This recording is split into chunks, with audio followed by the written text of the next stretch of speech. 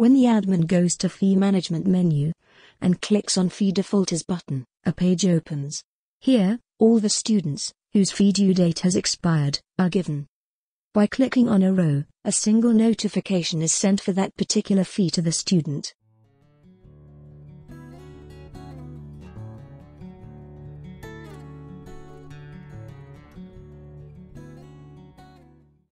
By clicking on the Reminder to All button, reminders for all fee amounts are sent to all defaulting students. Please like subscribe and share Skoolum videos.